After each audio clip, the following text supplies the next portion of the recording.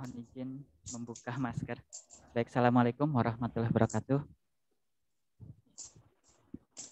Yang kami hormati Ibu Wakil Dekan 3, yang kami hormati Bapak Ketua Prodi Teknik Geologi, yang kami hormati Ibu Bapak dosen, dan yang kami sayangi adik-adik mahasiswa.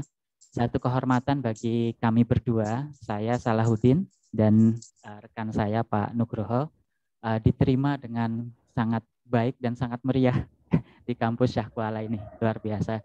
Kami sangat apresiasi dan antusias dari adik-adik untuk ikut bergabung di sini juga di luar dugaan kami ya. Jadi apa namanya mudah-mudahan dari pertukaran pikiran kita di pagi ini insya Allah menjadi berkah begitu ya. Jadi untuk untuk kedua uh, baik kepada kami ya karena yang namanya belajar itu tidak hanya uh, guru atau dosen begitu ya yang yang memberi pelajaran kepada murid atau mahasiswa. Tapi sebetulnya guru dan dosen ketika memberi perkuliahan memberi pelajaran itu belajar kepada diri sendiri dan ke, dari mahasiswa ya mudah-mudahan begitu.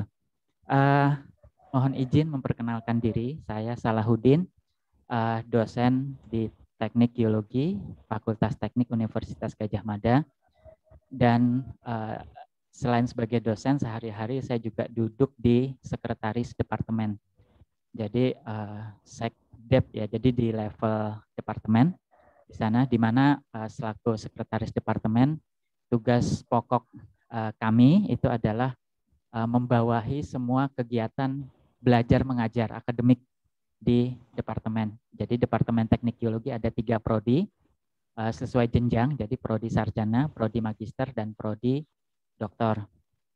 Nah, uh, mohon menyampaikan juga kalau adik-adik, ibu bapak berminat begitu ya. Jadi uh, mulai tahun 2020 sebetulnya uh, kami uh, membuka satu program ya di setiap prodi, uh, terutama prodi magister dan prodi dokter, yaitu program by research. Jadi magister by research dan dokter by research.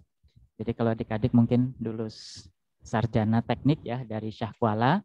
Kalau misalkan ingin belajar di Universitas Gajah Mada ada yang namanya program by research. Uh, apa bedanya dengan program magister biasa? Uh, yaitu kami hanya uh, memberikan kuliah bekal, bekal untuk riset itu satu semester saja. Setelah itu langsung riset. Jadi ini satu kemudahan bagi adik-adik ya kalau misalkan kalau misalkan ingin ya,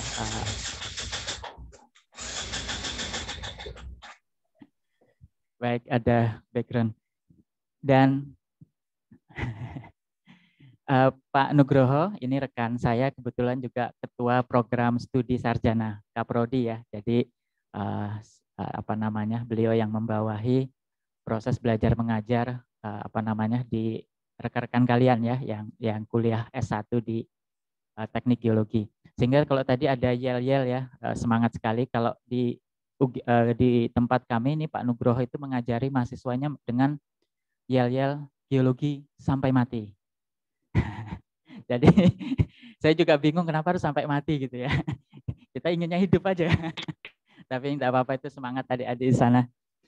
Dan uh, mohon izin juga menyampaikan kami juga hadir sebagai kapasitas Asosiasi Program Studi Teknik Geologi Indonesia atau ASPRODITEGI dan uh, kami baru memperoleh kepercayaan dari rekan-rekan itu satu bulan yang lalu 13 Februari uh, 2021 ya menjabat uh, sebagai ketua Asprodi antar waktu antar waktu saja karena kami hanya mengganti. Karena ketua sebelumnya uh, pernah hadir juga beliau di sini yaitu uh, Burhanuddin. Uh, beliau naik ke IAGI ya Ikatan Ahli Geologi Indonesia. Dan uh, mohon menyampaikan bahwa anggota Asprodi TG saat ini ada 33 prodi teknik geologi dan geologis Indonesia.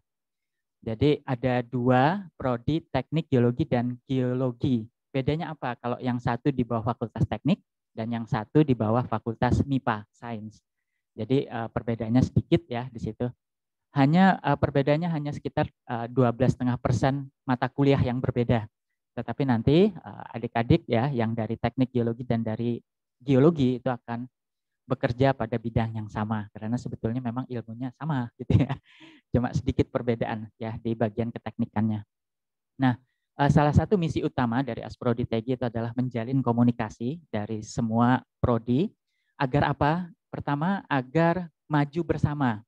Kita tentu menyadari bahwa uh, keragaman itu ada, jadi ada prodi yang memang sudah tua sekali, seperti mungkin UGM itu didirikan tahun 59, jadi sudah lebih 50 tahun lebih ya. Dan ada mungkin yang baru 10 tahun begitu ya, ada yang baru lima tahun. Jadi kami ingin uh, uh, perbedaan uh, usia begitu ya dan perbedaan dari uh, kekuatan dari sumber daya manusia ini bisa uh, saling merangkul dan maju bersama itu yang pertama. Yang kedua adalah untuk bergaining position. Jadi biar bagaimanapun ya uh, seperti lidi kalau cuma satu gampang dipatahkan tapi kalau sudah diikat menjadi sapu ya itu susah. Mengapa demikian? Karena ke depan uh, kita akan semakin sering menghadapi perubahan-perubahan atau istilah istilah anak muda sekarang itu disruption gitu ya. Nah, disruption di dunia pendidikan itu banyak sekali ya. Uh, bagaimana menyiasati uh, industri apa 4.0 sebentar lagi insya Allah tahun depan mungkin sudah 5.0, dua tahun lagi 6.0 dan seterusnya. Luar biasa uh, anu perubahan tersebut sehingga harus kita antisipasi bersama. Kemudian kelak uh, suratnya baru keluar kemarin ditandatangani. Nanti akreditasi uh, karena setiap uh, uh, institusi yang memberikan pendidikan tinggi itu harus diakreditasi. Selama ini akreditasinya dilakukan oleh negara. Ada kelemahannya. Kenapa? Terlalu diseragamkan. Jadi yang namanya pendidikan teknik ya dengan pendidikan uh, MIPA ataupun ekonomi nanti dinilai dengan standar yang sama. Ini tentu kurang menyenangkan bagi uh, prodi yang dinilai sehingga kemudian kelak ya dalam waktu dekat akan ada lembaga akreditasi mandiri LAM ya nanti LAM teknik. Anggotanya siapa? Kita sendiri gitu ya. Jadi kita akan menilai kita sendiri. Jadi dari asosiasi itu akan apa namanya berkontribusi untuk menilai rekan-rekan sendiri jadi Mudah-mudahan dengan cara ini penilaian akan lebih mudah ya dan lebih objektif serta lebih uh, solutif gitu ya. Artinya kalau misalkan memang ada kelemahan kita akan perbaiki bersama. Kira-kira itu uh, apa namanya uh, asosiasi ya Tegi. Insya Allah kalau adik-adik ya nanti kalau tidak lama lagi akan gabung menjadi akademisi, uh, jadilah anggota Tegi ya di situ. Kita maju bersama. Uh, demikian uh, apa namanya beberapa hal pengantar. Mohon maaf Ibu. Sudah larut ke sana kemari saya. Mohon maaf ya. It, kelemahan dosen ya, adik-adik ya. Dosen itu satu slide saja bisa setengah jam cerita. Mohon maaf. Baik, uh, di sini uh, apa namanya kami berdua memberikan cerita dengan nafas yang sama. Apa itu? Yaitu Sumatera di masa lampau. Jadi seperti tadi Pak Ibnu menyampaikan merajut ya, assembling, mengumpulkan. Mengapa? Karena Sumatera ini merupakan satu pulau dengan penyusun ya terumit ya untuk uh, Indonesia. Jadi banyak sekali eh, lempeng-lempeng uh, mikro, jadi potongan-potongan kerak benua yang datang jauh dari selatan, yang jat, yang datang jauh dari timur berkumpul di sini.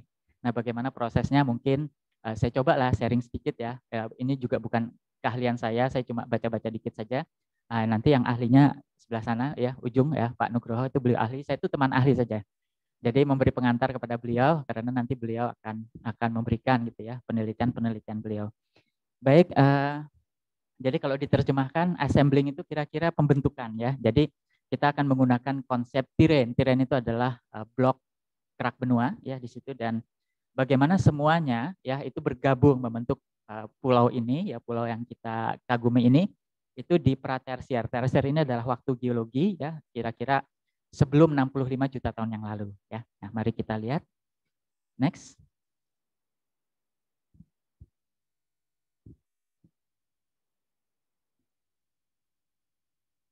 Baik, uh, mohon izin nanti akan ada kurang lebih lima bagian ya. Jadi dari pendahuluan ya, uh, apa sih manfaatnya gitu ya? Karena biar bagaimanapun kita di teknik ya, yang namanya teknik itu menggunakan sains ya, karena sainsnya adalah geologi, ya, geological science untuk satu aplikasi. Jadi kira-kira yang kita pelajari ini aplikasinya apa gitu ya. Itu adalah esensi dari teknik ya. Nah, itu adalah kita uh, buka ya dengan pendahuluan. Setelah itu uh, tadi kita singgung ya terrain atau blok kontinen ya di situ bagaimana konsepnya secara teoritis. Kemudian tiga dan empat ini uh, kurang lebih kita akan masuk ke inti diskusi kita ya dan yang kelima nanti sedikit penutup lah ya. Next. Baik, yang pendahuluan. Baik, nah ini uh, apa namanya dari daerah Sumatera Barat ya. Uh, kalau Sumatera Barat cukup sering kami hadiri ya, kami kami kunjungi karena memang keindahan alam. Sebetulnya semua Sumatera itu keindahan alamnya luar biasa. Uh, kebetulan memang di Sumatera Barat cukup sering ya kami ada riset di sana. Dan ini adalah uh, satu lembah yang disebut sebagai uh, apa namanya uh, lembah Moralabuh ya Moralabuh. Jadi uh, di sisi selatan ya Sumatera Barat sebelum masuk ke apa namanya ke daerah uh, Bengkulu ya. Nah uh, kalau kita lihat ini foto ke utara ya jadi ada perbukitan sebelah kanan dan perbukitan sebelah kiri ya. Bedanya apa? Nah kalau yang apa namanya adik-adik dari geologi mungkin dari sisi umur geologi sudah kelihatan ya. Yang satu Permian. Permian itu artinya uh, apa namanya uh, ratusan juta tahun yang lalu ya. Jadi uh, membangun tebing ya perbukitan sebelah kanan ya sebelah sebelah timur. Sementara kalau sebelah barat ya sebelah kiri kita punya Pleistosen awal ya. Oke. Nah, jadi rentang waktu ratusan juta tahun didekatkan. Jadi ini ibaratnya seperti istilah Pak Ibnu dirajut ya, digabungkan. Nah, yang menggabungkan siapa? Di sini ada satu struktur besar yang kita sebut sebagai sesar Sumatera, Great Sumatran Fault yang uh, apa namanya di dalam publikasi uh, apa namanya uh, uh, apa uh, beberapa publikasi kemudian dipisah ya. Jadi di, di apa namanya dipisah menjadi beberapa segmen. Karena memang sesar itu nggak bisa hadir satu garis ya, satu bidang dia akan ter, terbagi menjadi beberapa segmen. Nah di sini kita mengenal sebagai segmen atau patahan ya, patahan kecil, patahan yang lebih kecil yaitu patahan siula dan patahan suliti. Nah, uh, interaksi dari kedua patahan ini akan bentuk satu lembah ya yang disebut sebagai lembah Moralabo. Apa makna lembah ini? Apa keuntungan kita lembah ini? Yang pertama tentu kita lihat ya betapa suburnya lembah tersebut. Yang kedua, ya lembah-lembah tersebut akan menyimpan potensi ya karena mereka merupakan satu area yang dia uh, memiliki bidang diskontinu yang sangat banyak karena banyak patahan ya maka fluida akan mudah lewat di sana mineralisasi berkumpul ya kemudian potensi geotermal juga ikut hadir di sana. Jadi uh, kekayaan alam ya Sumatera ini luar biasa. Boleh next. Nah ini uh, salah satu ya salah satu manfaatnya uh, eksplorasi migas.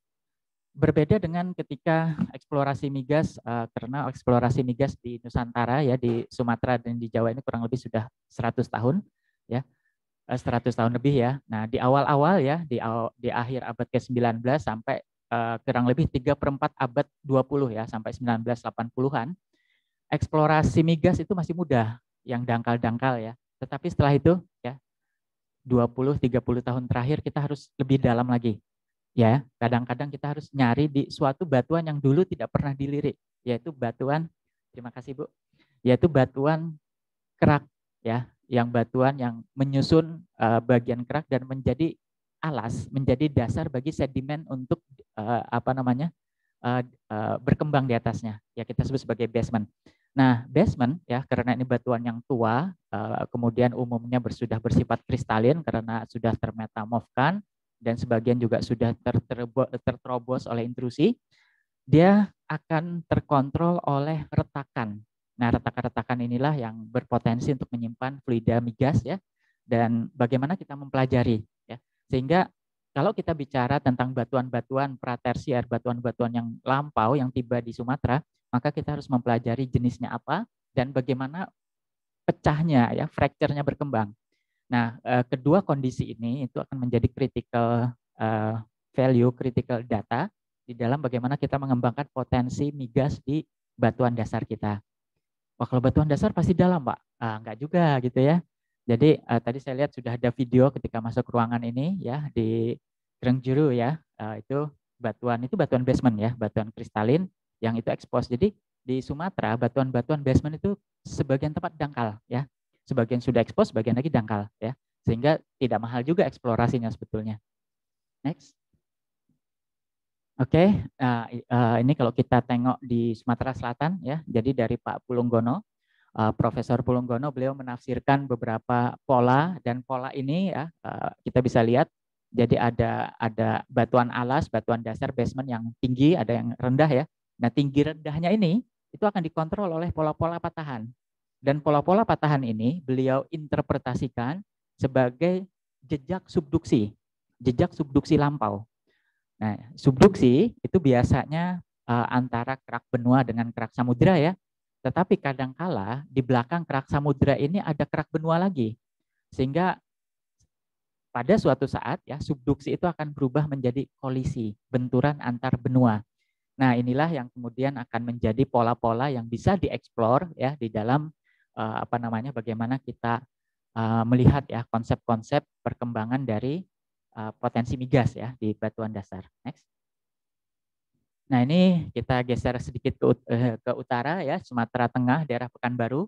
Nah, kita lihat ya bagaimana uh, awal mula ya uh, semua batuan da, uh, batuan dasar yang beraneka macam tadi dikumpulkan menjadi satu ya, kumpulkan menjadi satu. Nah, terus kemudian dia mengalami tektonik ya uh, di paleogen umumnya tektonik Sumatera bersifat ekstensional, pembentukan cekungan-cekungan. Nah, namun ketika memasuki neogen ya setelah Miosen setelah 20 juta tahun terakhir ya sampai sekarang dia memasuki fase inversion atau fase pembalikan. Jadi cekungannya itu sudah mulai dibalik gitu ya. Jadi sebelumnya dia turun ke bawah ya batuan dasarnya nih keraknya, nah sekarang mulai diangkat naik ya. Sebagian sudah muncul ke permukaan, sebagian lagi dalam posisi yang dangkal ya di situ. Next. Oke, jadi mengapa ya? Apa, apa pentingnya kita belajar apa namanya konfigurasi basement? Nanti dari sisi batuan saya dibantu oleh Pak Nugroho. Nah, kalau uh, selain batuan tadi kita pelajari ya uh, jenis batuan akan mempengaruhi reologi batuan. Reologi ini adalah sifat batuan merespon gaya, ya. Jadi bagaimana dia pecah itu sangat tergantung pada jenis batuan. Metamorf dengan uh, beku berbeda pecahnya. Nah, uh, bagaimana dia pecah itu juga dikontrol oleh gaya yang diterima. Nah, gaya ini itu dari interaksi tektonik ya. Jadi inilah yang akan kita diskusikan. Next. Oke. Okay.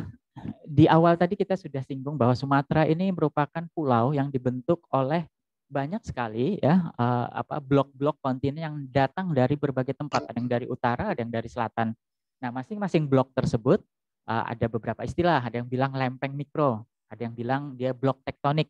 Tetapi kita bisa gabungkan dia ya sebagai konsep sederhana yaitu tiren. Tiren ini adalah satu uh, zona atau area geologi yang itu batuan dasarnya berbeda dengan sekitarnya ya di situ. Jadi tiren ya uh, uh, ini untuk Indonesia banyak sekali, tapi kita fokus di sini ya.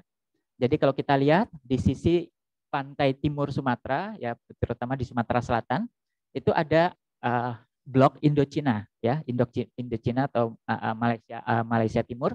Kemudian ya yang sebagian besar menyusun uh, pesisir timur Sumatera itu adalah Sibumasu. Sibumasu ini uh, nama singkatan ya. Jadi biasanya orang Indonesia suka men, uh, membuat singkatan, tapi ini uh, yang bikin bukan orang kita ya, orang bule juga. Uh, Sibumasu, Siam, ya, Burma, ya, Manya udah ketebak, Malaysia, Sunya Sumatera gitu ya. Jadi dia melampa, uh, melewati empat negara ini ya. Jadi dia disebut Sibumasu, kemudian ada Sumatera Barat ya. Uh, ini sebagian besar muncul di bagian selatan dan tengah. Kemudian tadi Pak Ibnu juga sudah singgung Blok Woyla ya, itu yang yang umumnya menyusun sisi barat Sumatera ya di sini. Nah, bagaimana keempat ini berkumpul, assembling, inilah yang nanti mungkin kita diskusikan ya. Next. Oke, nah ini batasnya gitu ya. Nah, uh, umumnya ya untuk memudahkan uh, karena Indonesia Barat ya Indonesia Barat itu disusun oleh tiga pulau besar ya Kalimantan, Jawa dan Sumatera atau Sundaland, Sundalandia itu dianggap sebagai kontinen walaupun nggak boleh kita anggap kontinen karena kalau kontinen itu masif ya satu satu kerak benua yang utuh. Nah kalau kalau uh, Sundalandia ini Indonesia Barat sebetulnya tersusun tadi ya ada ada beberapa lempeng yang beberapa blok yang bergabung. Nah tetapi untuk uh, uh, apa namanya di literatur literatur lama ini disebutkan sebagai core keraton ya. Keraton itu artinya kerak benua yang paling tebal. Sebetulnya tidak paling tebal juga ya. Nah ini disebut sebagai inti dari Indonesia Barat ya, Sundalandia. Nah, di sini. Yaitu gabungan dari tiga blok ya, tiga tiren. Indochina, Sibumasu dan Sumatera Barat. Nah, kebetulan memang ya eh, ketiga blok ini merupakan penyusun awal dan ketiganya ini tersusun oleh kerak benua. Nah, yang keempat ya Woyla ini uh, apa dianggap sebagai busur uh, kontinen ya. Jadi ada kerak samudranya ada, kerak benua pun ada. Jadi dia mix ya di sini. Nah, dan dia kemudian datang paling akhir. Sehingga kemudian disepakati ya intinya ya untuk Sundalandia itu adalah Indochina, Sibu Masu dan Sumatera Barat. Tiga ini yang kita diskusikan awal, kemudian nanti kita tambahkan dengan ya busur Woyla. Jadi di sini uh, kalau Robert Hall itu menyebutnya busur ya ak ya dia Woyla ak. Kenapa? Karena tadi busur gunung api ya yang tumbuh di satu tepi kontinen. Next. Oke, ini uh, dari Pak Pulunggono karena beliau merupakan salah satu peneliti kita, peneliti uh, yang pertama kali meneliti tentang batuan dasar Sumatera ya. Kemudian bagaimana beliau membagi uh, ada Melaka ya di sini. Kemudian Melaka ini berbatasan dengan Ismalaya atau Indochina ya. Kemudian di sisi barat nanti ada Mergui ya, di mana ujungnya akan bergabung dengan Bohorok ya. Kemudian nanti akan ada uh, apa namanya masukan dari kerak Samudra Andaman ya di sisi timur. Nah ini satu versi. Jadi kita kalau kita kadang belajar geologi itu macam-macam ya, versinya banyak. Nah, kita ambil saja saripatinya, nggak usah bingung dengan uh, terlalu banyak ya. Next. Oke, ini yang lebih modern publikasinya 2005 dan sudah lebih sederhana ya dibandingkan sebelumnya. Bisa kembali sebelumnya? Oke, nah di sini agak rumit ya assemblingnya. Jadi ibaratnya kalau kita assembling kain ini kain perca lah ya. Jadi banyak sekali potongan-potongannya. Nah ini kemudian disederhanakan next ya. Jadi 20 tahun kemudian disederhanakan oleh Berber ya di sini menjadi uh, Ismalaya atau Indochina, kemudian Sibumasu ya, kemudian West Sumatera dan Waila. Nah, inilah yang uh, yang kemudian di, dipergunakan dalam publikasi-publikasi yang lebih akhir ya sampai saat ini. Jadi hanya dijadikan empat saja ya dari Ismalaya, Sibumasu, West Sumatera dan Waila. Nah, tapi kalau adik-adik nanti baca literatur, ada ada lagi Melaka ya, ada lagi Bohorok. Nah, itu sebetulnya versi lama. Ya, jadi semua itu sebetulnya yang tadi saya sebutkan Melaka, Bohorok segala macam itu bagian dari Sibu Masu ya di situ. Next. Nah, uh, alternatif ya. Kenapa? Kenapa ini penting? Karena uh, satu hal ya, satu karakter seorang geolog ya. Uh, kalau adik-adik nanti lulus akan menjadi ahli geologi, ya, gabungnya nanti IAGI itu adalah kemampuan bekerja dengan multiple working hypothesis. Jadi kalau kita memecahkan satu solusi, kalau kita memberikan satu interpretasi, interpretasi tentang uh, materi batuan maupun interpretasi tentang proses, ya, bagaimana batuan ini terbentuk, proses apa, ya, atau proses-proses tentang yang lain, tektonik, ya, fluida dan lain sebagainya. Biasakan memberikan beberapa alternatif ya. Jadi jangan jangan satu solusi, ada beberapa solusi ya. Itulah multiple working hypothesis. Nah, di sini tadi uh, publikasi-publikasinya seperti itu dia dia bilang oh ada empat ya sebelumnya ada lebih banyak lagi. Bagaimana kalau kita lihat sisi yang lain? Nah, ini sudut pandang lain bahwa sebetulnya Sumatera itu bukan hanya kerak benua, bukan hanya tiren, tapi juga dia merupakan vulkanik tiren jadi merupakan busur-busur gunung api purba yang kemudian terassembling ya. Mari kita lihat next. Nah, kembali lagi ke publikasi lama ya. Prof Katili ini dok apa namanya dokter pertama ya di geologi di Indonesia. Beliau bilang ya Sumatera sampai ke Kalimantan itu terhubung oleh busur vulkanik. Nah, ini memang konsep yang tidak banyak dipergunakan. Kenapa? Karena kalau dia busur vulkanik, dia mestinya satu satu satu apa satu benua utuh ya kemudian ada atau apa namanya satu satu tiren ya kemudian dia mengalami beberapa seri vulkanisme sementara yang tadi ya apa prinsip-prinsip tektonik lempeng itu permukaan bumi ini pecah menjadi kerak-kerak kecil ya di situ tiren nah di sini prinsip Prof Katili tirennya itu sebetulnya hanya gabungan dari beberapa busur magmatism ya. Jadi dari yang paling tengah ini yang Permian ya, kemudian ke arah luar baik ke utara maupun ke selatan, dia menjadi menuju ke arah lebih muda, menuju Kapur.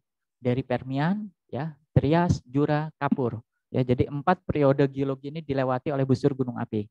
Next. Nah, sebetulnya ada ini kalau kita lihat ya, ini gaya berat. Perhatikan pola gaya beratnya, lengkung ya. Persis seperti yang digambar Prof Katili tadi. Jadi sebetulnya ya, lengkung-lengkung tadi yang digambarkan beliau ada.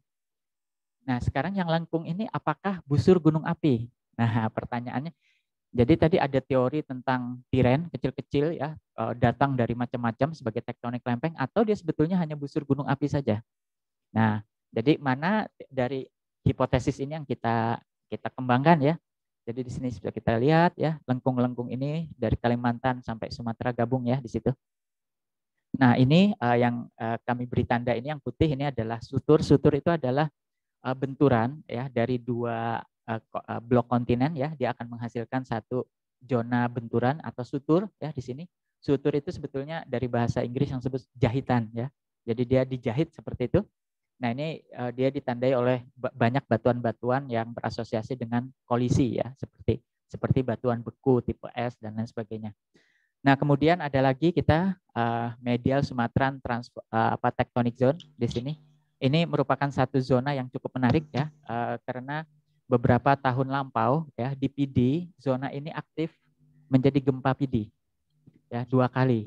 Jadi ini merupakan zona tua ya. Kenapa zona tua? Karena saat ini pandangan kita selalu melihat sesar Sumatera.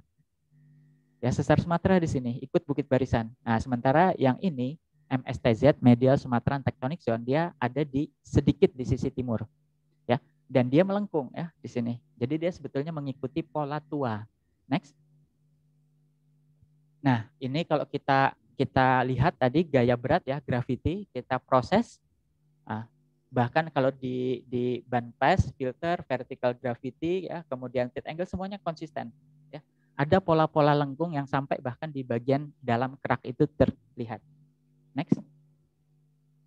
Nah, jadi kalau kita coba hubungkan ya uh, di sini uh, ini enggak terlalu kelihatan ya, tapi sebetulnya uh, kita lihat cekungan-cekungan migas kita saat ini, cekungan-cekungan sedimenter yang selama ini dikenal sebagai cekungan belakang busur, back up basin. Kenapa? Karena dia di, di sebelah timur dari busur barisan ya.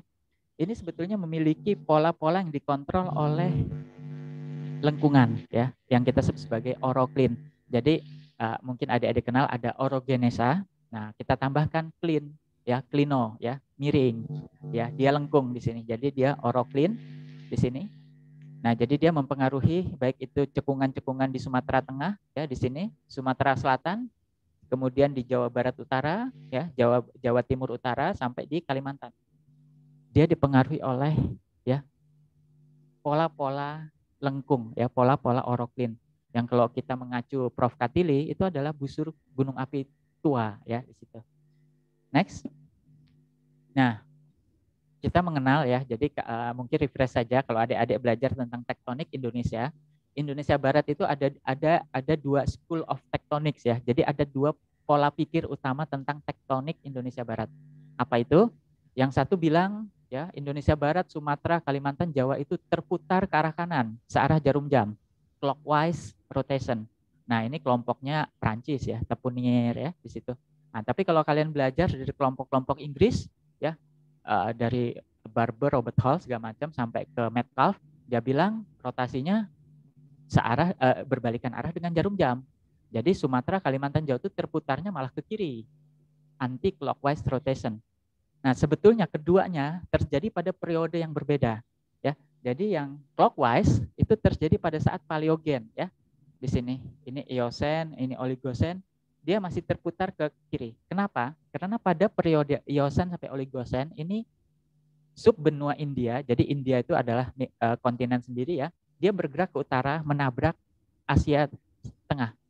Nah, pergeseran India itu kebetulan lewat di sebelah barat Sumatera.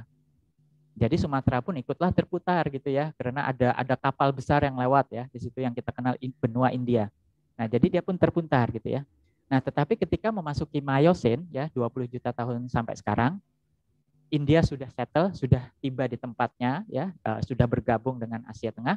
Nah, datang lagi dari sebelah timur kita, Australia, bergerak dari utara. Kenapa? Karena didor, dia didorong oleh pemekaran ya antara Antartika dengan benua Australia. Jadi misah, sebelumnya Antartika dan benua Australia ini jadi satu, nah, di tengah-tengah ternyata muncul pemekaran kerak samudra. Didoronglah Australia ini utara.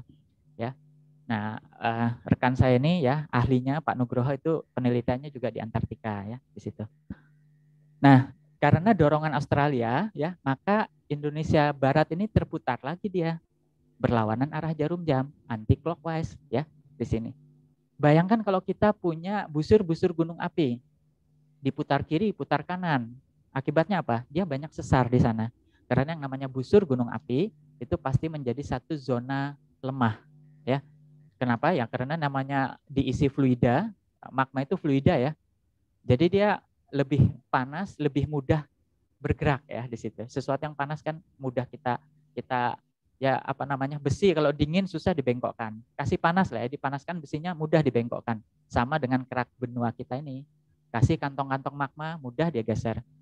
Contoh contoh paling mudah sesar Sumatera ya. Ada orang bilang memang tidak berimpit dengan busur gunung apinya, tapi tidak bisa kita pungkiri ya, walaupun ada beberapa gunung api itu yang di sebelah timur dari sesar Sumatera, tapi sebagian juga sebagian besar malah tetap muncul di Bukit Barisan di sepanjang sesar Sumatera ya. Oke, di situ ya. Jadi pola-pola gunung api lama ini uh, karena dorong kiri, dorong kanan melengkung lah dia ya. Jadilah dia pola oroklin. Next. Nah, itu konsep tiren ya. Uh, jadi uh, saya saya resumekan yang kedua ini. Konsep tiren ya ada dua. Ada yang dia merupakan blok-blok eh, pisah-pisah ya kemudian dia assembling. Ada juga dia sebetulnya satu blok kemudian dia mengalami akresi pertumbuhan akibat magmatisme. Tambah lama tambah lebar gitu ya mula-mula dia di uh, di apa Permian hanya di tengah nanti begitu masuk ke Trias ke Jura ke Kapur tambah lebar dia ya karena busur gunung apinya juga tambah mundur Nah, jadi ada dua konsep. Tetapi begitu masuk konsep ketiga dan keempat, saya akan kembali ke konsep yang pertama saja. Mengapa? Karena publikasinya lebih banyak. Ya, bukan berarti konsep kedua eh, apa namanya eh, belum tentu benar ya. Tetapi kita lihat tadi ada data gaya berat yang bisa mendukung sana. Oke, kita lihat yang ketiga di sini. Uh, tadi sudah disampaikan Pak Ibnu ya. Jadi ada apa Pusengan Group, Tapanuli Group, Waila Group ya di sini dengan banyak formasinya ya. Saya biasanya kalau lihat yang sebelah kanan ini udah pusing kepala saya, cepet-cepet ya. Jadi uh, saya lihat yang di tengah saja. Dikelompokkan menjadi super grup ya. Jadi ini formasi kita gabungkan jadi grup ya di sini. Nah, uh, apa kemudahan kita me menyederhanakan ya? Karena dengan menyederhanakan ini kita bisa lihat ya, grup-grup tersebut dia memiliki periode geologinya sendiri. Yang tertua Tapanuli itu merupakan bagian yang pertama hadir di Sumatera yaitu di Devon Karbon ya Devon sampai Karbon dan dia hanya ditemukan di sisi timur Sumatera yang menyusun Indochina Malaysia Timur ya. Nah, nanti begitu Permian Triasik ya bagian tengah Sibumasu dan Sumatera Barat datang ya dan dia akan membentuk kelompok Pusangan. Nah, nanti ya sisi barat Sumatera itu akan dibangun oleh kelompok Woyla ya dengan formasi-formasi ini. Jadi dengan menyederhanakan ini polanya sudah masuk ya. Oh, mudah dipahami. Next. Oke. Jadi kalau yang Tapanuli ya Tapanuli tadi uh, sesuai nama ya uh, dia lokasi tipenya di dataran tinggi Tapanuli, Tapanuli Highland ya di selatan Danau Toba ya di mana dia dibangun oleh Alas Kluet dan Bohorok ya di sana. Nah, nanti ke sebelah kanan di sini ada kelompok-kelompok yang kita sebut sebagai Melaka ya. Kelompok Melaka dan di selatan sendiri ada kelompok Kuantan ya. Jadi sebarannya seperti ini kurang lebih ya. Nah, isinya apa? Nah, isinya nanti kita lihat bagaimana paleogeografinya. Karena sebetulnya isi itu sangat ditentukan paleogeografi. Kalau dia laut ya isinya sudah ketebak ya, turbidite. Kalau laut dangkal isinya pasti batu gamping ya. Ah, kalau dia darat isinya mesti endapan-endapan sungai. Nah, itu nanti kita lihat bagaimana stratigrafi yang menyusun kelompok-kelompok ini itu akan membangun paleogeografi Sumatera. Next. Nah, kita masuk Permian Trias ya, sebarannya sudah lebih banyak lagi. Uh, dia peci, peci itu artinya setempat di sini, setempat di sana ya. Wajar ya, kenapa? Karena dia kemudian tertutup oleh banyak endapan tersier dan kuarter. Jadi hanya di sana di sini dia muncul ya tersingkap. Jadi ini adalah kelompok-kelompok Permian ya di sini sampai di apa Bangka Belitung di sini dia. Next. Kayak ini yang Jurassic Kapur ya, dia di bagian tengah di sini. Dia termasuk kelompok Woyla ya di sini. Dan dia memang dominan hanya ada di setengah dari Sumatera ke barat ya di sini kelompok-kelompok tersebut. Next. Oke. Dengan penyederhanaan tadi eh, sekian banyak formasi bikin pusing ya, kita sederhanakan jadi tiga. Nah sekarang bagaimana tiga kelompok ini hadir ya assembling dari Sumatera. Next. Kita awali dengan Indo, Cina dan uh, apa namanya dan Sibumasu ya di sini. Jadi kita harus kembali ke Cambrium ordovicium ya. Bagaimana kelompok Tapanuli diendapkan ya. Nah, jadi pada saat Cambrium ordovicium ya ini uh, belum ada makhluk hidup ya. makhluk hidup berupa apa namanya? berupa uh, fauna fauna besar belum ada ya. Ikan belum muncul saat ini ya. Jadi baru tumbuhan-tumbuhan ya di sini kehidupan masih banyak di laut ya daratan masih terlalu beracun ya oksigen masih sedikit saat ini nah Sumatera ya itu saat itu dibangun oleh ini Indochina dan S ini Sibumasu mereka masih bergabung dengan Gondwana Gondwana itu adalah ya super benua yang ada di selatan ya di sini yang yang menyusun benua-benua selatan ya nah dia masih dibagi, digabung Gondwana, tapi dia ada di tepi. Nah, ada di tepi ya. Kenapa tepi ini penting? Karena kalau kita makan kue, itu pasti diawali dari tepi kan. Nah, benua dipisahkan itu juga dari tepi. Jadi tepi-tepi ini ya, dia siap untuk dipisahkan dari induknya.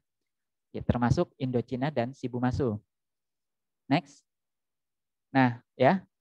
Uh, ini masih ada ya masih dia masih sampai ke silur. Silur ini didominasi tumbuhan-tumbuhan sudah mendominasi ya.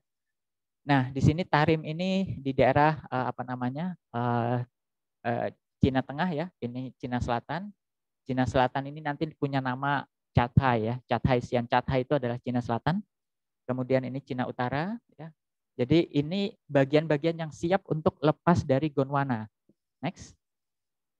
Nah, yang pertama lepas siapa? Indochina. Nah, ketika suatu ya tepi benua ini kita lepas, nah pasti di tengah-tengahnya nggak mungkin kosong. Siapa yang isi? Kerak samudra. Muncullah samudra Paleotetis. Nah, samudra Paleotetis ini memisahkan Indochina dengan Sibumasu ya di sini. Dan uh, ini South China, Tarim, North China, dan Indochina ini bikin ya apa yang kita kenal sebagai kontinen China saat ini ya tapi nanti Indochina akan pisah. Next, terus. Nah, masuklah di karbon ya, karbon karboniferous, kar, uh, apa namanya? Uh, karboniferous ya, di zaman di mana temperatur bumi sangat panas ya, nggak ada kita nggak punya kutub kutub kutub ya. Uh, es zaman ini nggak ada. Makanya di mana-mana tropis ya, tumbuhan di mana-mana ada ya di situ. Nah, kita lihat di sini sudah sudah berlayar ya di sini Indochina, South China, North China sudah misah di sini dan uh, Paleotetis sudah bergabung. Nah, Laurensia, benua-benua utara itu sudah mulai merapat ke selatan yang kita kenal proses pembentukan Pangea. Ya, Pangea ini adalah super kontinen uh, jadi ada periode di mana benua itu hanya satu. Nah, periode terakhir ketika benua itu jadi satu itu adalah Pangea ya di sini. Nah, ini Paleotetis keluar, next. Nah, Pangea. Ya, tapi ada yang saya suka di periode Pangea ini. Kalau bayangan kita yang namanya superkontinen Pangea, semua benua jadi satu. No. Ada beberapa yang rebel, pemberontak. Nggak mau gabung dia. Nggak, uh, saya bukan mainstream. Nggak mau ya, saya bikin aliran sendiri. Siapa itu? Tiga ini. ya North China, South China, dan Indochina. Dia bikin benuanya sendiri. Yang kita kenal sebagai benua Chataisian. Ya dia menolak bergabung dengan mainstream ya dengan Pangea dia nggak mau gabung kok nggak mau gabung nah, karena dia dibatasi oleh subduksi di sini jadi subduksi ini akan menjaga satu benua itu akan tetap di tempatnya ya di situ dia jadi dia tidak bisa bergabung ya di sini dengan uh, Gondwana saat itu nah ini uh, paleotetis ya di Permian awal ya kondisi Pangea sudah terbentuk ya di sini Nah, kemudian uh, ini periodenya masih sangat panas ya. Kemudian ini uh, si Bumasu kita masih di masih gabung dia dengan Gondwana ya sini. Nah, uh, kondisi ini nanti akan menjelaskan kehadiran ya beberapa teka-teki Sumatera. Teka-teki Sumatera itu salah satunya eh, apa namanya kehadiran flora ya bunga apa namanya tumbuhan-tumbuhan yang hanya ada di Catesian dan itu ditemukan di Jambi di Geopark Merangin ya di situ. Nah Geopark Merangin itu ada satu jenis tumbuhan udah fosil ya yang itu hanya ada di daratan Cina. Kok bisa gitu ya? Padahal kita pelajari Sumatera itu sebagian besar dari Gondwana. Kok ada yang dari yang dari Chatesian ya? Nah, ini nanti akan dijelaskan dengan bagaimana Jambi termasuk kelompok West Sumatera, Tiren ya di situ. Oke, ya di sini paleotetis ya mengelilingi yang kita sebut sebagai Chatesian ya di sini. Next ya, kita masuk Permian tengah uh, sudah uh, akhir dari Permian awal ya. Nah, kita lihat di sini dia rebel ya, dia nggak mau gabung Pangea di sini.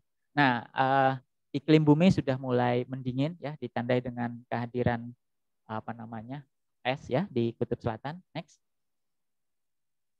Oke, kita masuk ya bagaimana si Bumasu ini pisah ya dan terbentuknya mesotetis. Jadi di sini memang periodenya selalu saya gabungkan dengan samudranya. Jadi samudra yang membentuk Sumatera itu adalah tetis, samudra tetis. Ada paleotetis, ada mesotetis, dan ada kenotetis. Masing-masing masing-masing mendorong tiren ya. Jadi paleotetis dia mendorong tiren atau blok kontinen Indochina. Nah, nanti mesotetis dia akan mendorong si bumasu berpisah dari induknya. Next. Oke, okay, ya. Nah, ya. Di sini kemudian ya eh, biasanya terpisah itu karena ada ada subduksi ya, subduksi yang kemudian uh, menarik ya, menarik tepian dari kontinen tersebut menjauh. Nah, di sini sudah mulai ada rifting ya dan uh, sudah mulai terbentuk lingkungan laut ya. Jadi si Bumasu sudah siap-siap berpisah ya di Permian akhir di Permian awal. Next.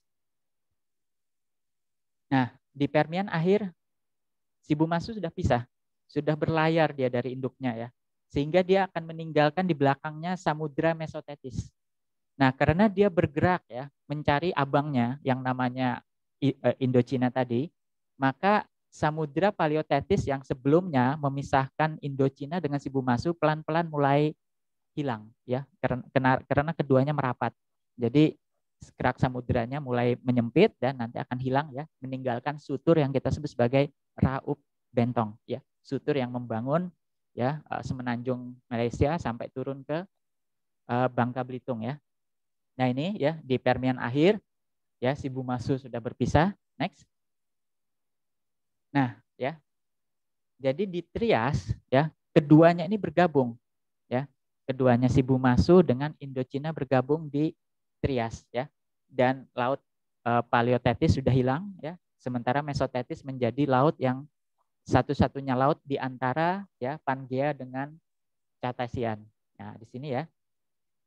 Oke, kita lihat ini uh, eh, SWB ini Southwest Borneo ya di sini. Jadi uh, apa namanya ini kelompok-kelompok yang nanti menyusun Kalimantan dan Jawa. Oke, sampai sampai di sini terbentuklah assembling pertama Indo-Cina dengan Sibumasu. Assembling itu pasti meninggalkan sutur, bukan pasti ya, umumnya. Karena nanti akan ada enigma lain ya tidak semua ya assembling di Sumatera meninggalkan jejak yang kita sebut sutur. Nah, jadi di sini ya uh, apa raup bentong ya sutur raup bentong itu kemudian terbentuk ya di tengah-tengah Sibumasu dan Indochina. Next. Oke.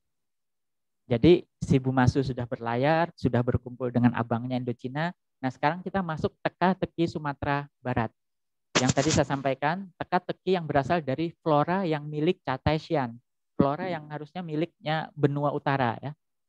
Next. Oke, uh, ini adalah formasi Silungkang ya di Sumatera Barat ya di sini dan ini vulkanik ya.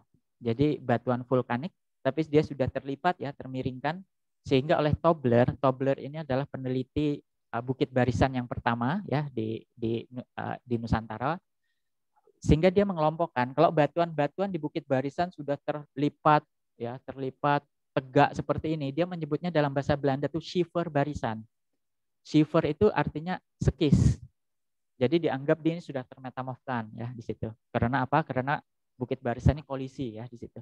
Nah ini kelompok dari Shiver Barisan ya eh, dia termasuk sebagai formasi silungkang dan ini penyusun dari ya kelompok-kelompok pusangan ya kelompok tengah ya eh, kelompok kelompok uh, maaf kelompok-kelompok Permian ya sorry kelompok-kelompok Tapanuli ya di sini. Nah kenapa ada gunung api pada saat Permian? Next. Oke, okay, eh, atau sebelumnya mungkin? Sebelumnya lagi? Sebelumnya? Oke, di sini ya. Nah, ini saya beri nama WB, West Borneo. West Borneo itu letaknya di sini dan dia dikelilingi oleh subduksi. Subduksi mesotetis ya di sini sehingga formasi silungkang tadi itu merupakan salah satu jejak bahwa ada subduksi di periode Permian sampai Trias ya. Nah, di sini. Jadi itu merupakan subduksi mesotetis ke bawah Catasian. Next. Oke, terus oke di sini. Nah, uh, Metcalf, Metcalf itu uh, berhenti di sana tadi ya, uh, apa namanya, uh, apa namanya, uh, rekonstruksinya. Kita terpaksa berpindah ke Barber untuk menjelaskan enigma dari Sumatera Barat ini. Nah, ini ada flora di Merangin, flora yang milik Cartesian. Ya, next.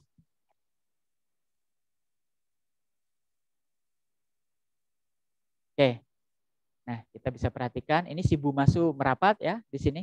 Jadi pada Permian akhir ya paleotetisnya mulai menutup, mesotetis terbentuk ya. Nah, ini di sini akan terbentuk nanti yang kita kenal sebagai struktur Raup Bentong. Next. Yes, ya. Inilah Raup Bentong ya. Jejak kolisi antara ya si Bumasu dengan Indochina ya. Nah, tapi di sini ya karena Indochina ini sudah gabung dengan South China, dia bikin Chatesian ya maka si Bumasu ini sempat bergabung ya dengan Catesian. Dia dipisahkan oleh Mesotetis. Nah, perhatikan posisi Sumatera Barat ya. Dia dari awal memang masuk kelompok Catesian. Makanya wajar dia punya flora ya eh, tumbuhan yang itu merupakan ciri Catesia ya. Next. Ini satu satu cara eh, apa rekonstruksi tektonik yang tidak memang tidak masuk akal sementara ini ya. Jadi bagaimana mungkin ada apa namanya eh, kondisi di mana Sumatera Barat itu digeser oleh sesar sesar besar ya di sini dari posisinya di di sebelah barat Kalimantan, eh, sebelah timur Kalimantan ya menjadi sebelah barat ya Sibumasu. Tapi ini adalah rekonstruksi satu-satunya, belum ada alternatif ya di sini. Nah, eh, jejak inilah ya jejak antara Sumatera apa namanya Sibumasu dengan West Sumatera inilah yang kita kenal sebagai MSTZ ya, Medial Sumatran Tectonic Zone apa pentingnya tadi ya? Uh, dia pernah aktif ya sebagai gempa di PD ya. Gempa PD itu nggak ada hubungannya dengan sesar Sumatera karena letaknya di sebelah timur ya. Gempa dangkal ya. Jadi uh, dia sebetulnya bagian dari MSTZ ya yang itu membentang dari ujung Sumatera ya utara sampai ke daerah Lampung ya di sini. Next. Oke. Jadi teka-tekinya seperti itu dijawab dengan satu rekonstruksi yang ya ya satu-satunya ya belum ada alternatif lagi tapi susah membayangkan pergeseran ribuan kilometer seperti itu. Ya, ya saya hitung itu kira-kira menggeser Sumatera ke arah Papua pergeserannya jaraknya ya jauh sekali. Nah sekarang kita masuk ke bagian akhir ya bagaimana Sumatera itu menjadi sekarang dengan datangnya Woyla ya dan Woyla ya ini akan diikuti dengan pembentukan samudra terakhir yaitu Kenotetis. Next. Nah, saya akan pindah ke uh, rekonstruksi Robert Hall ya. Perhatikan di sini ini Woyla dan ini adalah kenotetisnya. Dan ini mekar terus ya sehingga kemudian Woyla ini akan didorong ke utara. Nah, jadilah dia kemudian ya bagian sisi oh, sebelumnya. Oke. Okay. Nah, uh, Ngantuk cuy. Oke. Okay. Ya. Uh, ada beberapa rekonstruksi yang dilakukan ya, bagaimana Woyla itu datang. Ya. Nah, uh, Woyla itu sebetulnya lokasi tipenya ada di Sumatera Utara, ya, di daerah uh, Natal ya, Mandailing Natal. Nah, uh, di sini kebetulan kami ada riset ya di daerah Sumatera Selatan, juga ada kelompok Woyla di sana. Dan di sini uh, kalau kita lihat ya uh, bagaimana Woyla datang ya dari sebelah barat ya, sementara ini West Sumatera, kemudian dia docking ya, do, uh, bergabung ya, assembling di sini. Nah, uh, kami coba menggambarkan ya di sini. Jadi uh, rekonstruksi kami. Jadi Sibu masuk, kemudian ada West Sumatera ya di sini. Nah, kemudian Woyla ini datang. Di tengah-tengah kita punya mesotetis ya, samudera mesotetis yang ini semakin menyempit ya kalau menyempit tuh ke mana hilang ya? Uh, dia hilangnya ke mantel ya, ke bawah di sini subduksi. Nah ini kemudian datang di sana ya, dan kemudian terjadilah kolisi ya di sini yang menghasilkan kalau di Sumatera Selatan yang ada namanya perbukitan Gumai ya di situ uh, Gumai Garba dan kemudian juga ada tinggian-tinggian yang saat ini prolifik uh, artinya banyak hidrokarbon ya tinggian pendopo pendopo limau. Nah ini akibat kolisi dia kemudian membentuk ya struktur-struktur yang berperan bagi hidrokarbon di sekitar sutur tersebut. Jadi eh, pesan kami adalah sutur itu bukan hanya masalah tektonik. Dia juga membawa potensi, ya potensi keekonomian. Next.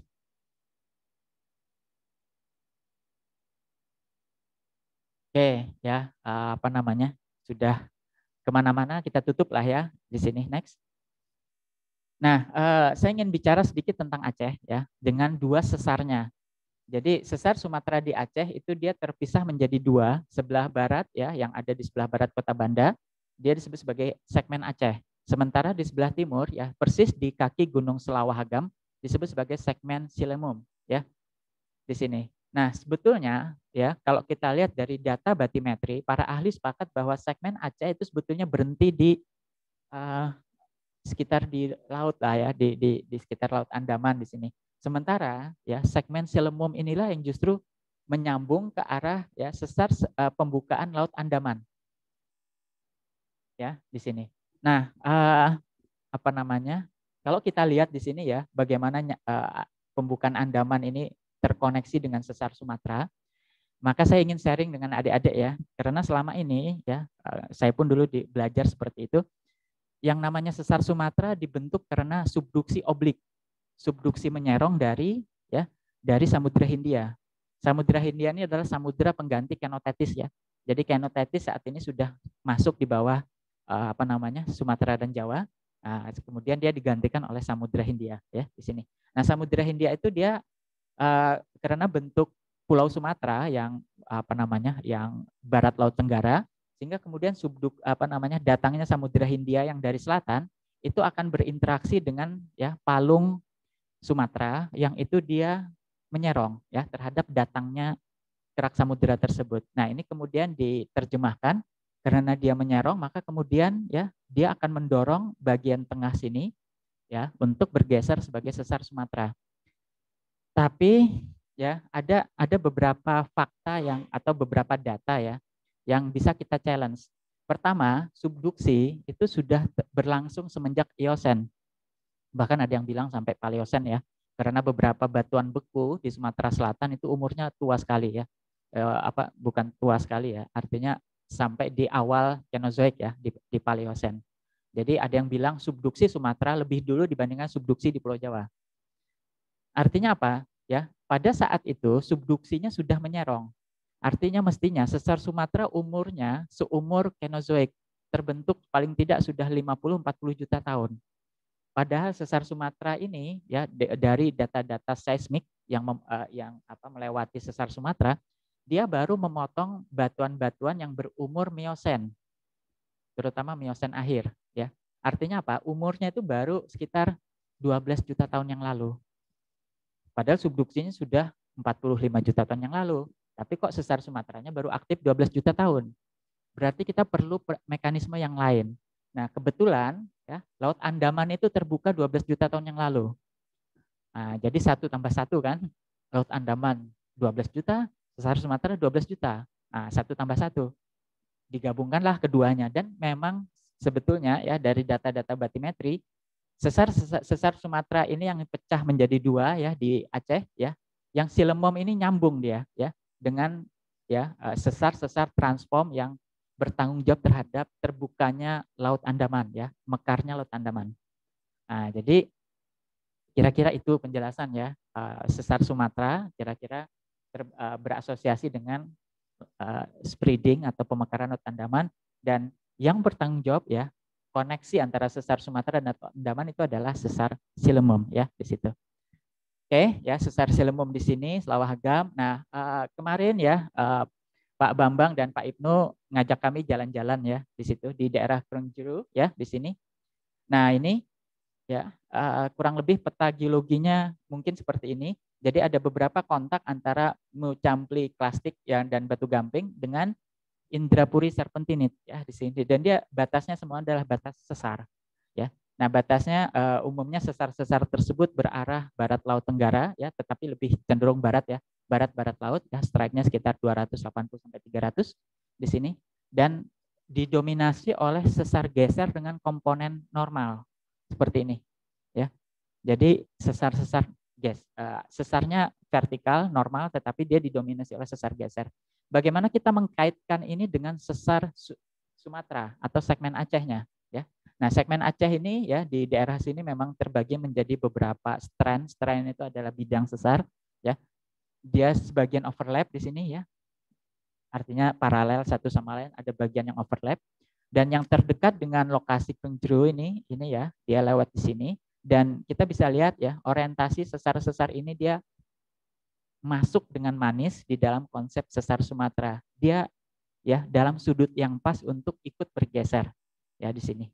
Nah, jadi kira-kira memang eh, apa namanya eh, apa kompleksitas ya sesar Sumatera ini di mana serpentinit ya itu sebagai bukti dengan adanya subduksi entah subduksi yang kapan tapi karena lokasinya memang ada di dekat-dekat Woyla mestinya di bagian dari subduksi Woyla tapi ada problem ya umur subduksi Woyla sudah kita pelajari itu di Kapur ya mestinya. Jadi umurnya paling enggak sudah 100 juta lebih ya di sini.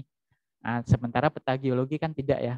Kompleks Indrapuri itu mudah tempatkan. Nah, ini challenge ya. Challenge bagi adik-adik ini ya. Jadi bagaimana sebetulnya kedudukan Indrapuri di dalam stratigrafi regional? Mungkin sudah ada publikasi ya dari Ibu Bapak dosen sini tapi mohon maaf mungkin belum kami baca ya yang mengkoreksi posisi serpentinit ini secara stratigrafi. Karena serpentinit nggak nggak bisa dibentuk sembarangan proses. Dia punya ber, ber, eh, berasosiasi dengan proses subduksi. Jadi betul-betul tektonik yang bukan hanya sesar geser saja ya. Sesar geser itu yang yang mengatur sebarannya saat ini. Tetapi serpentinitnya itu nggak ada hubungannya dengan sesar Sumatera. Dia lebih tua mestinya. Kira-kira itu eh, apa namanya? Eh, bagaimana kita melihat ya di sini assembling Sumatera tadi dan kita tempatkan dalam konteks Aceh gitu ya. Terakhir, ya simpulan sajalah ya, simpulan. Jadi di sini Sumatera merupakan amalgamasi ya, assembling dari berbagai tiren ya, eh, lempeng-lempeng litosfer ya. Nah, masing-masing ya dari tiren tersebut pasti punya lautnya sendiri ya, tetisnya sendiri. Indochina dengan paleotetis, Ibu Masu dengan mesotetis, ya Waila dengan kenotetis seperti itu ya. Nah, kemudian stratigrafi kalau kita sederhanakan ya jadi tiga kelompok saja ya. Tapanuli, Pusangan dan Waila. Masing-masing ada hubungannya dengan proses kolisi. Masing-masing punya proses dengan tiren ya di sini. Jadi kita bisa mengelompokkan seperti itu. Nah, ya teka-tekinya ya biasanya kolisi uh, assembling ya antara dua tiren itu akan meninggalkan sutur tapi sutur definitif itu hanya ada di raup bentong. Definitif dalam arti bisa dipetakan, ada batuannya. Nah, mana sutur untuk Sibu Masu dan West Sumatera? Mana sutur untuk West Sumatera dengan Woyla? Nah, itu ya. Nah, ada-ada yang di Aceh bisa cari itu ya di sekitar-sekitar apa namanya Bukit Barisan ya. Next, uh, eh sebentar maaf, yang lima ya di sini batas sutur ya merupakan patahan uh, orde pertama mestinya di sana dan bisa kita pergunakan untuk menganalisis ya karena manfaatnya adalah uh, apa namanya keberadaan basement di dalam eksplorasi ya jadi yang itu disebut sebagai basement play ya di situ jadi karena fracture-nya ini bisa membuka uh, tempat ya menyimpan fluida sebagai fracture reservoir tentunya studi kita tentang basement bisa kita arahkan kepada uh, manfaat keekonomian ya di situ. Demikian kira-kira next saya pikir sudah ya. Terima kasih sekali atas perhatian uh, Ibu Bapak semua. Mohon maaf di sini kalau misalkan kami lancang ya di sini uh, apa namanya memberi ilmu tentang Sumatera terhadap orang-orang Aceh ya di sini. Mohon maaf kalau kami juga banyak salah keliru ya di sini. Terima kasih saya kembalikan Pak Ibnu.